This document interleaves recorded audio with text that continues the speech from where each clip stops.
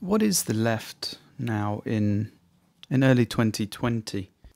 I think in many ways um, you could compare it to the uh, Jim Crow uh, period in the southern US in the mid 20th century, where there was uh, codified segregation and, of course, just widespread racism, um, where, where you have the scenes of um, you know, police escorting black children into into white schools.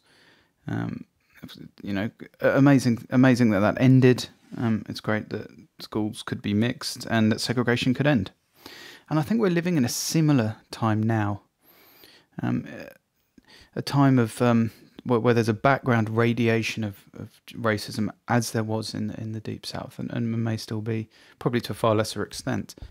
But of course, today, um, the background radiation of, of racism is against white people and the background in, in the West and the background radiation um, of sexism uh, as it as, racism was against blacks in the deep south the background radiation of sexism in the western world today is against men.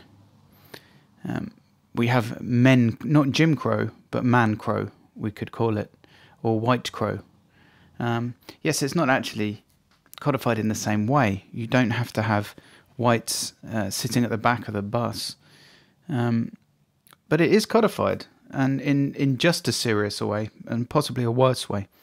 You have um, white, mostly actually Asian students at Ivy League universities being systemically discriminated against on an industrial scale in favour of black students who didn't get the grades to go there, who aren't intelligent enough to go there. You have um, systematic propagandization, brainwashing, 1984 style brainwashing um, in every major company now with uh, unconscious bias training. If you even question it, you get fired or you don't get the job. I, I know many people this has happened to. James Damore is, is a classic case of this, where he used science, facts, logic, and reason to cite um, peer reviewed data on gender differences um, to, in order to give some feedback to the Nazi propagandists at Google who were force feeding people bullshit um, made up by intersectionalists. They were forcing them to do unconscious bias training, which is really just fuck white men training. It's it's similar to what the Nazis did against the Jews. This is what unconscious bias training is doing now against the white man. Uh, this is happening at pretty much every major company now. It's just propagandization, it's just bigotry, it's just racism, it's just sexism. Uh, James Damore gave them the feedback they were asking for, and he got fired. Um, can you imagine firing a black woman for questioning a policy that she thought was racist against black women? I can't. This is because we live in a West now, which is deeply bigoted, where there is a background radiation of sexism against men and racism against whites, and to some extent Asians in some situations. Although Asians do still get to call themselves people of colour, so, you know. We're so used to the extreme bigotry of society against whites and men now um, that we don't even notice it. It's just a constant background radiation. Somebody in, in the bigotry department, also known as HR, also known as the woke department uh, in your company, they may make an offhand comment such as, well, we need more women of colour on, the, on, on our board. Okay, why? Do you need more women of color on your board? If you just ask that question, you'll probably get fucking fired. But it's a very it's a valid question. Um, what you're saying about we need more more women of color on our board, what you're saying is you need fewer old white men on your board. That's just fucking racism. That's just fucking sexism. That's not an appropriate uh, thing to say. Pe- but these people, of course, they just these brainwashed bigots, they just go unchallenged because everyone's too scared to say anything. This is the, the, the constant background radiation that we're desensitized to. Um, some officers play white noise in the background. Um, after a while, you just don't notice it, and it's the same with this constant racism. Um, just just um, saying, you oh, we need more um, people of color in this industry. Why? But you can't just say we need more people of color in this industry. You need, firstly, I'll, I'll, I'll help you out, you, you dumb leftist fucks.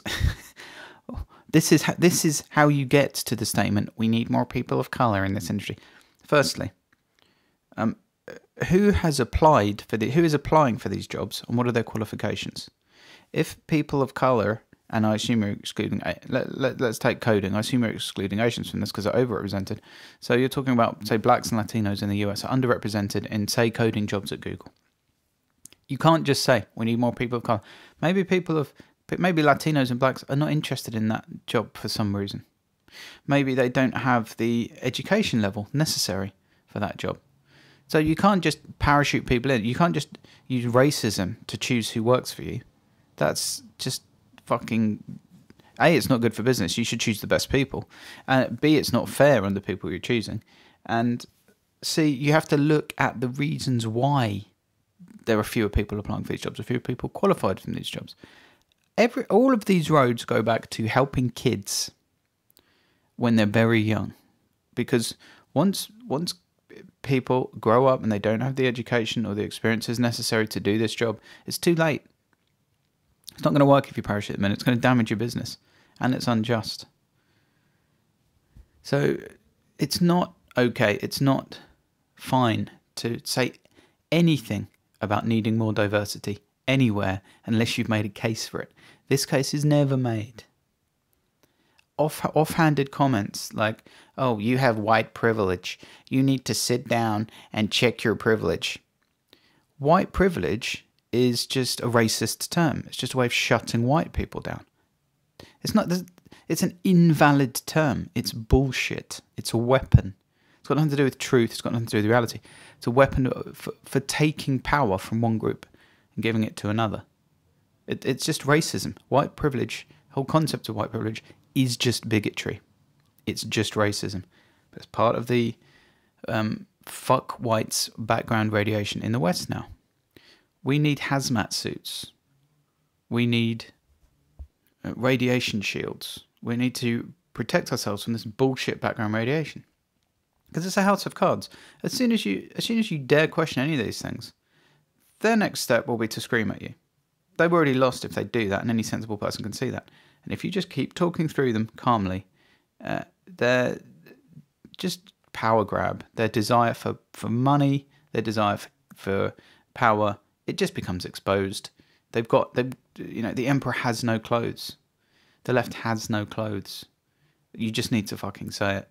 So this constant um, background radiation of bigotry coming from the left, it's not as bad as you think. J- just start pushing back. The Deviant Developer Podcast. Tap subscribe in any podcast app to never miss an episode. Please leave a review on iTunes and like on YouTube. It's essential to spread the word. To contact me or make a welcome donation, go to thedeviantdeveloper.com. Your support is greatly appreciated.